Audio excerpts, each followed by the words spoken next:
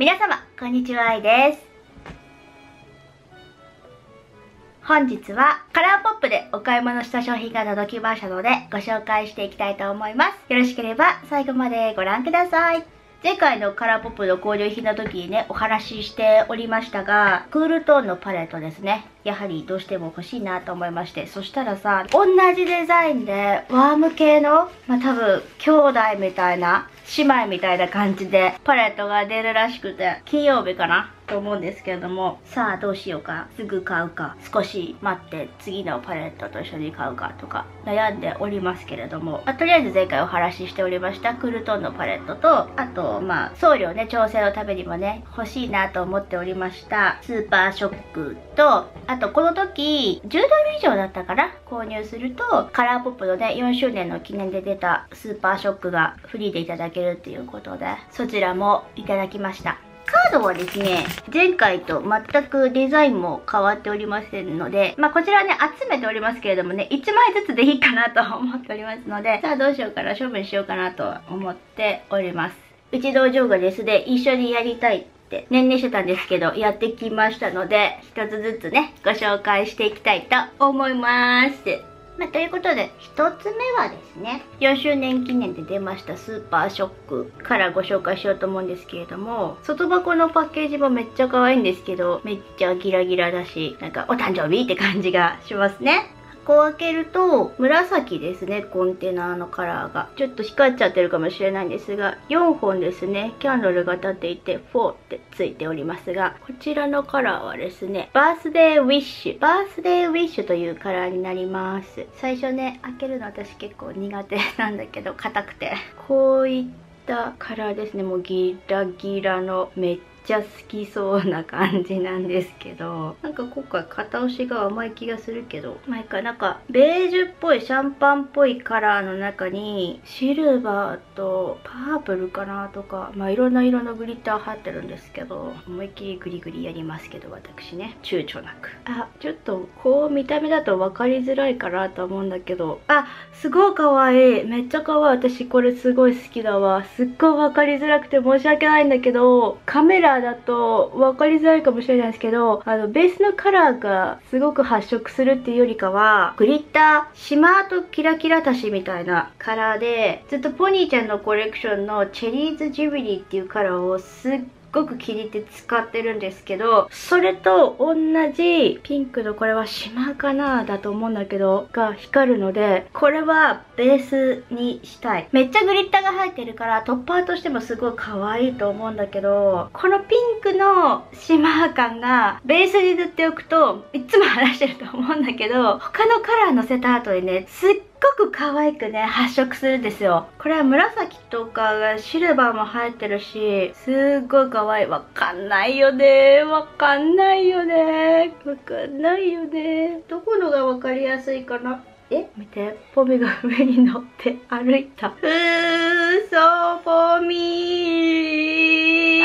まあ、こうすればすぐ戻るんだけど、ポミちゃん、ああいう中点じゃないの？キラキラちゃんが。ポミはあんまりこういうこと気にしないで、平気でいろんなとこの上歩く子なんですよ。わかるから、ここはわかりやすい？あ、でもあんまり変わんない。か、まあ、こういうキラキラのスーパーショックでした。チーズジュビリーすごく気に入って使ってるんですけど、もうね、販売してないからね、代わりになる似たようなものをね、探したいなと思ってたんですが、こちらも似たような感じだったので、当分ね、また探さずに済むなと思っておりまして、乾くとね、硬くなってはくるんだけど、大事にね、使いたいなと思います。それから同じくスーパーショックですね。2つ購入したんですけれどもこれはバタフライのコレクションで出たものでもう好きそうだなって。このチラッと見ただけで思われた方いらっしゃるかと思うんですがまず1つ目がこちらになります。まあパッケージはいつも通りのものでこのコンテナがバタフライのコレクションなので蝶々が書いてありましてカラーはレイス U レイス U かな？になります。こういったピンクのカラーにゴールドのグリッターが入っているカラーで、グリッターにゴールドが入ってるからね、ピンクもね、黄みがかってるように見えるんですけど、まあ、私大好き。こういうからめっちゃ使いやすいと思ってるんですがコミがまたね乗るといけないので気をつけて置いとかないとちょっとさっきのキラキラカラーがまだ乗ってるんですがまあこれだとねちょっと濃いめかなと思うんですけどこういう感じはね実際ね発色薄いものっていうか優しくつくものが多くてこんな感じのカラーですめっちゃ可愛い。ちょっとこのキラキラなのか中のキラキラなのかが分かりづらいかもしれないんですけれども、コールノのグリッターがすっごいたっぷり入っておりますので、どの角度にしてもグリッターグリッターグリッターグリッターってしてる。めっちゃ可愛いですね。めっちゃ好きな感じで、リップとかにポッポンしても可愛いと思うしね。まあこれもメインカラーとして使いたいなと思っているんですけども、私結構メインカラーに使いたいカラーばっかり買うんだけどね。まあもう一つはですね、こちらのちょっと紫っぽいブルーっぽいカラーなんですけど、パッケージは変わんないですね。先ほどのものと。蝶々のモチーフもついておりまして、リップル、リップルというカラーになります。まあこういった紫ですね。めっちゃ綺麗。ブルーのグリッターからこれは。すっごい綺麗。崩したくないなっていうぐらい綺麗なんだけど、これも可愛い。こちらがリップルっていうカラーなんですけど、グリッターの種類が違うから、光り方が全然違うんだけど、ピンクと紫でね、めっちゃ可愛いんだけど、入ってるグリッターがさ、寒色と暖色でしょ？全然違うんだけど、これすっごい可愛い。これニュアンス出しでめっちゃいいと思う。黒目の上とかにポンポンって置いてあげても可愛いと思うし、メインでグワッと塗っちゃってもね、角度によってこのグリッターの光り方が変わるからすごい可愛いし、同色系じゃなくて全然違うカラーの上とかにニュアンスで重ね付けしてもめっちゃ可愛いかなと思うので、もちろんこれとこれで組み合わせてもいいしね、手持ちのものとも組み合わせてね、いろんな使い方していきたいなと思います。すごい一生懸命拭いてるんですけど、ベースのカラーが淡く発色してもですね、めっちゃね、色はね、定着するので、この辺ピンクなので、ちょっと今からね、他のカラースウォッチするかなと思ってるんですが、落ちません。落ちないわ。そして、ポミちゃんどっかに絶対に先ほどの Birthday Wish がついておりまして、歩くたびにキラキラします。なあね、どこつけたのよ。どこつけたの、ポメあ。後で見して。お願いね。今回のお買い物ですね、メイン。こちらで最後になるんですけれども、シャドウパレットのフェイム、フェイムになります。外箱、こんな感じで、後ろはカラーの名前が書いてありますね。これも前回同様16色入りパレットで正方形の形をしているんですけれどもパッケージはこんな感じ移動遊園地みたいなデザインでこれとくっつけてつながって一つの絵になるっていうのが次のパレットで出るんだけどね裏はこんな感じでカラーの名前があります。開けるとここに鏡が前回はあったと思うんですけどなくて。で1ドル安かった。こっちの方が。22ドルでしたね。カラーはですねこういったカラーが入っております。まあ私中かなかこういうねクールトーンのものは肌にもあんまり合わないし難しいなって思うんですけれどもこういった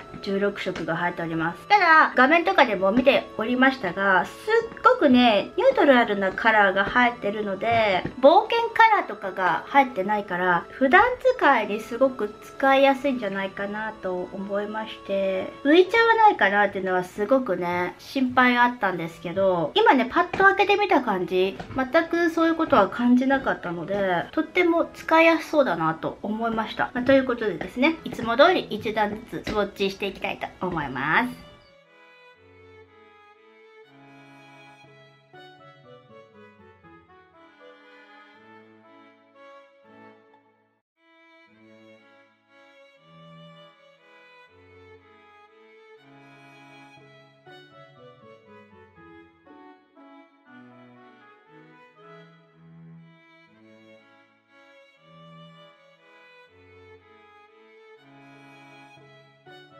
はい。こちらが1段目になります。多分絶然わかんないと思うんですけど、そっち全然わかんないですよね。って思うんだけど、いつもと同じように結構しっかりめにつけて、ふわっとね、乗せたんだけど、肌に馴染みすぎちゃって、メタリックとかサテンの仕上がりのものはなんとなくツヤっとしてるから、多少はお分かりいただけたかと思うんですけれども、もう最初のカラー、このマットのカラー、ほぼほぼ私のお肌と同じ色をしておりまして、こう見て、あ、うん、ここに塗ってるっていう感じぐらい、ちょっとわからないぐらい、同じ、ほぼほぼ同じカラーですね。こう見てる感じだと、まあ、これとかはピンクアンダートーンだなっていうのは分かりやすいと思うんですが、全部ですね、腕に乗せてみると、アンダートーンのピンクが分かりやすいですね。特にこのメタリックのカラーは、指で取った時もモロモロして、すっごいモロモロしたんだけど、乗せた後も浮いてたけど、しっかりとこすってあげれば密着するんですが、これはね、面白い光り方をしますね。光が当たって一番明るいところは、ちょっとシャンパンっぽいようなカラーに光るんだけど、その両脇がピンクっぽいカラーになってて、すっごい可愛い。面白いしめっちゃ可愛いですね。これはサテンの仕上がりですね。で、マット、マットだと思います。このサテンのカラーもめっちゃ可愛いですね。こうピンクですね、これもね。今のところね、なんか浮いちゃうようなカラーもなく、いい感じと思っておりますので、とりあえず、はい、次2段目いきたいと思います。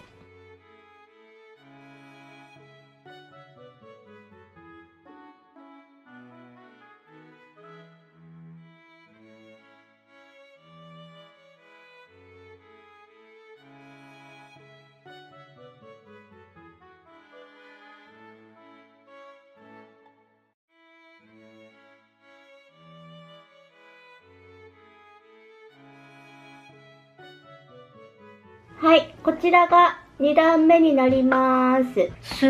ごい無難な、毎日使いしやすいカラーが貼っておりますね。私多分、毎日メイクだったらこれとこれとこれで終わると思う。まあ、ちょっとハイライトが欲しいなーって思ったらこれかなとは思うんだけど、下手したらこれは使わずにこれとこれとこのハイライトカラーだけみたいな感じで毎日メイクはできますね。すっごい使いやすそう。めっちゃ使いやすそう。両方ともメタリックっていうほどメタメタしなくって、どちらかというとちょっとサテンっぽいツヤのあるシマーの入ってる仕上がりなんですけれども、電気が黄色めだから分かりづらいかもしれないんだけど、両方ともね、シルバーなんですです。光り方が。これ自然光で当てた方が多分分かりやすいと思うんですけど、すっごい綺麗。特にこっちのカラーはめっちゃ綺麗。すっごい綺麗ですね。これね、一色で目の際からわーっとぼかしてグラデーション作って、もう終わりっていうね、使い方ができるアイシャドウだったと思います。すっごい綺麗。もうツヤがまずいい。このツヤ感はめちゃくちゃいいですね。濡れたような、うるっとしたツヤ感で、すごく綺麗。めっ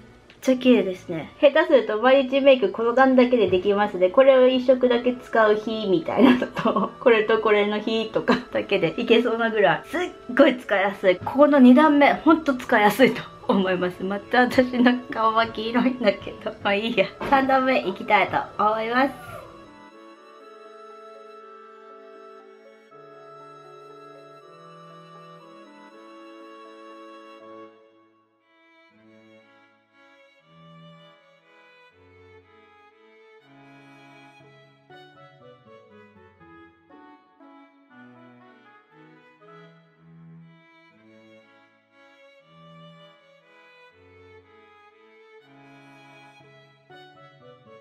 はい、こちらが3段目になります。この最初のカラーはちょっと分かりづらかったかなと思うんですけど、よりこう透明感が出て、トーンアップした感じにつけた瞬間見えたので、ベースとしてふわっとね、まぶた全体に入れるといいかなと思いました。これがすごく綺麗で、ラベンダーカラーなんですよね。ちょっと分かりづらいかもしれないけど。で、これもね、ベースはグレーっぽい感じで、これはグリーン。玉虫色っぽく見えるんだけど、がっつりとしてる感じ感じゃなくて、それがまた綺麗ですね。こうやって見てると、ブラウンに見えるんだけどね。で、角度によってちょっとグリーンには見えるんですけど、すごく綺麗。こういうのを映してると、画面黄色く見えちゃうと思うんだけど、私の顔とかちょっと黄色いんだけど、これはね、そのままの色が見えてるので、特に黄色っぽい発色にはなってはいないんですが、なので、これもね、すぐにあれするとダメなんだけど、黄色っぽさがなくなると、これが見たままの発色ですね。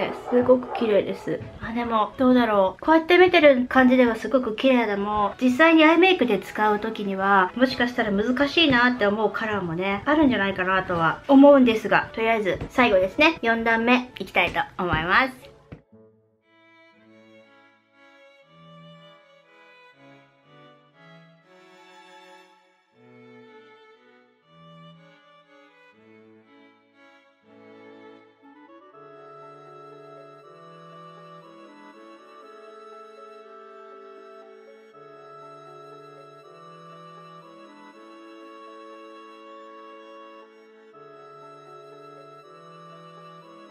はい、こちらが最後4段目になります。ちょっと今回マットのカラーがムラになりやすかった。もう濃くなればなるほどムラに見えるんだけどね、もちろん色が濃いから。もう一回つけて馴染ませたらしっかりと発色してくれて分かりやすくはなったんですが、特に一番最後のこのカラーはですね、かなりね、モロモロしてるっていうの。ボロボロしてるって言ってるのかな？なんて言ったらいいんだろうね。乗せて撮った時に、ここにボロボロボロって落ちたの。また顔がき。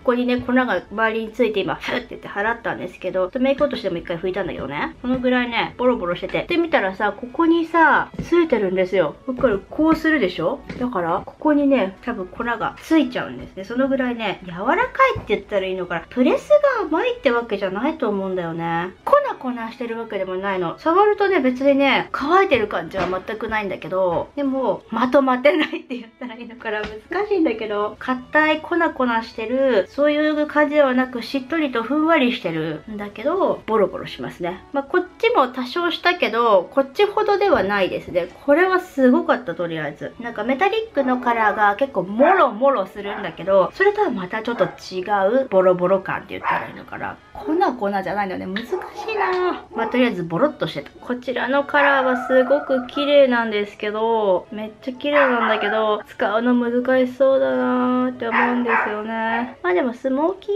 アイとかするにはこういうカラー使うといるかもしれないんですが、クールトーンのパレットってどうなんだろうと思ってクールのカラーそんなに得意じゃないんですけどこのパレットはもちろん何色かちょっと難しいかなって思ったカラーもあったけどでも先ほどもねこの上の2段とかはすごく使いやすいってお話ししてたと思うんですけれども毎日メイクするのにも使いやすそうなすごくニュートラルな無難なカラーが入ってるし頭悩まさずにクールトーンのカラーも使えるんじゃないかなって思いました。すっごい楽しみこれ使うの、まあ、難しいいなと思ったカラーをあえて使ってみて、どういう風にね、アイメイクできるかっていうのにね、挑戦してもいいかなとも思うし、普段あんまり手に取らないカラーがやっぱり多かったので、大騒ぎしてたお嬢がここに来ましたけど、またこちらもね、使ってゲットレディ撮りたいなと思っておりますので、使うのがとっても楽しみです。以上が今回私がカラーポップからお買い物した商品となります。顔色がちょっとずつ戻ってますけれども、お嬢一緒にやるって言ってきたんですけれども、途中ですね、離脱しまして遊びに行っておりましたが、また戻っていきましたね。そっちするときって腕が出てる方がいいので半袖着たんだけど、今日も相変わらず寒くてですね、このタムちゃんの体温がとっても暖かいですね。まあ、今回気になっていたこのスーパーショックと、さらに気になっていたこちら、そして記念にいただいたスーパーショックですね、になるんですけどども、これね、装置してみて、今度金曜日に出るね、兄弟？フォーチューンだったっけな？確かそのようなね、名前のパレットだと思うんですけれども、すっ